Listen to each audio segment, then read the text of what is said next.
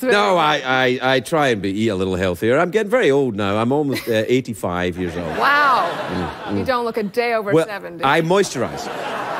yeah, I that is- moisturize. yeah, I, I, I dip myself in gelatin very uh, important. and sleep wearing a mask. Yeah, yeah. I sleep in, in gloves, just covered in. a gloves? This isn't going well. No. Um, uh, I, I, wasn't I would disagree. I think it's going very well indeed. No, moisturizing is very important. I, I, I, I take it very seriously.